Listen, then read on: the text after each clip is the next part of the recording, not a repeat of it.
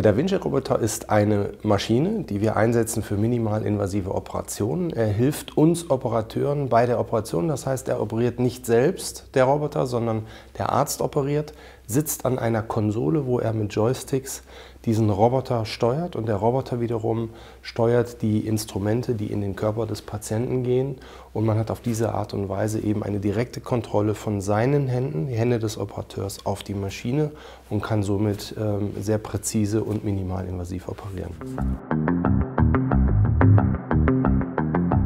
In Amerika werden inzwischen 95 Prozent aller Prostatakrebsoperationen mit diesem Da Vinci-Roboter gemacht. Aber neben Prostatakrebsoperationen können wir auch andere Tumoroperationen machen.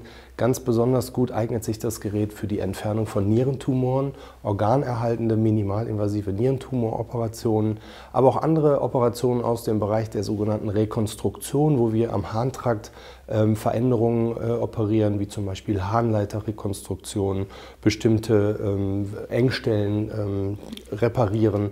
Diese Operation und auch aus dem Bereich Inkontinenzbehandlung ist der Roboter sehr geeignet. Die Vorteile liegen ganz klar auf der Hand. Wir haben bei der Konsole, in der der Operateur reinschaut, ein 3D-System. Das heißt, man sieht schon mal ein dreidimensionales Bild.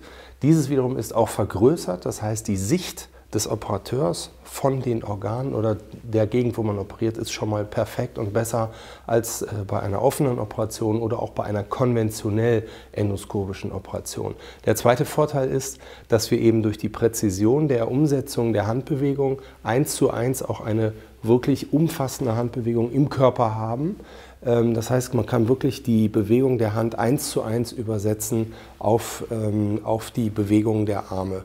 Und das führt eben dazu, dass wir sehr präzise operieren können. In Kombination mit der besseren Sicht führt das eben am Ende dann auch gerade bei Prostatakrebsoperationen, gerade bei Tumoroperationen zu einer wirklich auch deutlich besseren ähm, Qualität der Operationsergebnisse für die Patienten.